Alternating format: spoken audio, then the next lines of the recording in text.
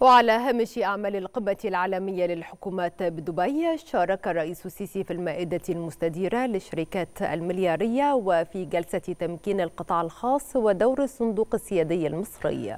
كما عقد سلسلة لقاءات مع الشيخ محمد بن راشد المكتوم نائب رئيس دولة الإمارات وكذلك مع مديرة صندوق النقد الدولي. شارك السيد الرئيس عبد الفتاح السيسي في فعاليات القمة العالمية للحكومات بإمارة دبي بالإمارات العربية المتحدة بحضور سمو الشيخ محمد بن زايد رئيس دولة الإمارات العربية المتحدة والشيخ محمد بن راشد المكتوم نائب رئيس دولة الإمارات العربية المتحدة رئيس مجلس الوزراء حاكم إمارة دبي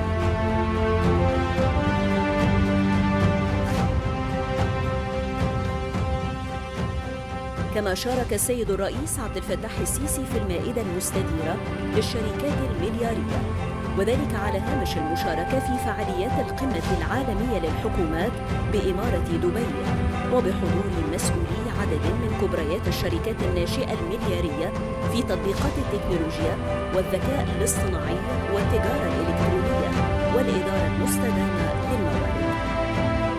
وعلى هامش المؤتمر التقى السيد الرئيس عبد الفتاح السيسي في دبي مع السيدة كريستالينا جورجيفا المدير العام لصندوق النقد الدولي.